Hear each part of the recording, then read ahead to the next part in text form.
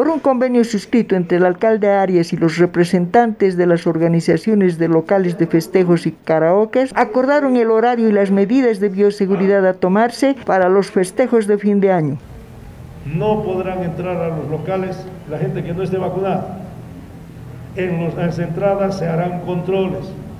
Nosotros haremos visitas esporádicas. Ellos se comprometen a impulsar y en toda su propaganda que vayan a hacer sobre apertura de fiestas, todo, pedirán a la gente que esté vacunada. Se ratifica el aforo al 75% y, por supuesto, la vacunación como requisito indispensable.